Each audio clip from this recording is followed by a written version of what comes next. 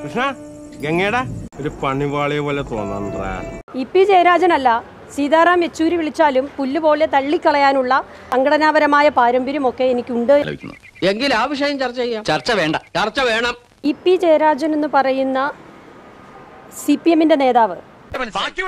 പറയും. പറയും. പറയും. സി പി എമ്മിന്റെ നേതാവ്. നിലവിൽ കുറച്ചു കാലമായി ഒരു റിക്രൂട്ടിംഗ് ഏജന്റായി പ്രവർത്തിച്ചുകൊണ്ടിരിക്കുക ഇങ്ങോട്ട് വന്നേ നീ. എന്നിട്ട് ഇങ്ങോട്ട് നിന്നേ നീ. അത് സി പി എമ്മിലേക്ക് മാത്രമല്ല ബി ജെ പിയിലേക്കും ഈ റിക്രൂട്ടിംഗ് അദ്ദേഹം മുമ്പോട്ട് കൊണ്ടുപോകുന്നുണ്ട്.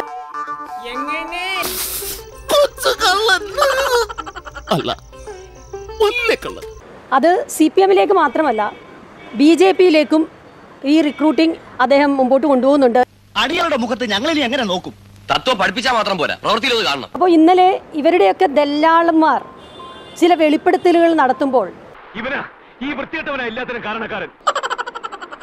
എന്റെ ഉൾപ്പെടെയുള്ള പേരുകൾ പരാമർശിച്ച് വെളിപ്പെടുത്തലുകൾ നടത്തുമ്പോൾ എന്റെ പേര് പരാമർശിച്ചപ്പോൾ ഞാൻ അതിന് മറുപടിയായി പറഞ്ഞത്.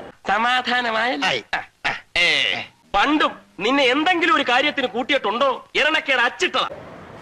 തൃക്കാക്കര ഉപതെരഞ്ഞെടുപ്പുമായി ബന്ധപ്പെട്ട് തെല്ലാളും ഇ പി ജയരാജനും എന്നെ സമീപിക്കുകയുണ്ടായി. ആദ്യം അദ്ദേഹം പറയുന്ന കാര്യങ്ങളെ കുറിച്ച് ശരിയായ നിലയിൽ പരിശോധിച്ചിട്ട് മാത്രമേ എനിക്ക് അഭിപ്രായം പറയാൻ പറ്റൂ. മിസ്റ്റർ ദശമൂലം നിങ്ങൾ എന്തിനാണ് പേടിക്കുന്നത്? ധൈര്യമായിട്ടിരിക്കണം. എന്നാൽ അന്ന് തന്നെ ഞാൻ അതിന് വ്യക്തമായ മറുപടി പറഞ്ഞതാണ്. എന്തുകൊണ്ട് അന്നത് പുറത്തു പറഞ്ഞില്ല എന്ന് ചോദിച്ചാൽ അതിന് അത്രയ്ക്കുള്ള വിലയെ ഞാൻ കണ്ടിരുന്നു. ഷാജി ഏട്ടാ ഇവളെങ്ങ് അരുതബു അരുത്. ലക്ഷത്തിൽ ഒന്നേ കാണും. ഇതുപോലൊരു ഐറ്റം